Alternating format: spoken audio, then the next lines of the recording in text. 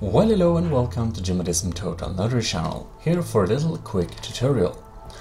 Now, this tutorial will be about how to bypass web pages copy-paste restriction so that you can't paste stuff in a certain field. For example, you can paste in your password um, or if you can't copy a text now, this is a site explaining um, a, thing, basically the origins of a word, um, and I want to copy certain words that I don't understand from here.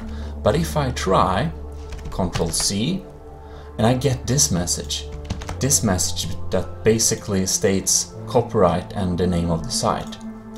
How do I bypass this now?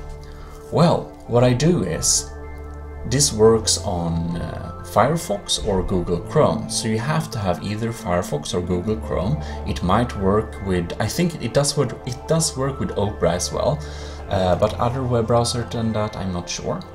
Anyways, what you do is you click Inspect Elements.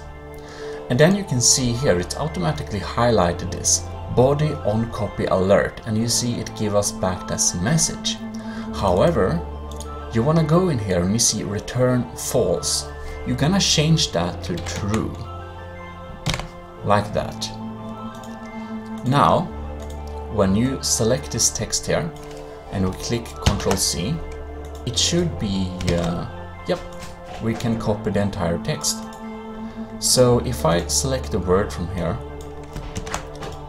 it gives us the error message, but I can paste it still.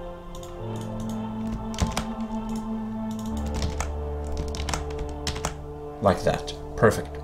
So anyways, I hope this helps you um, basically get, yeah, copy and paste that site so you can understand what it says and stuff like that. So, thank you very much for watching. This is Gmodism Total Notary channel, signing out.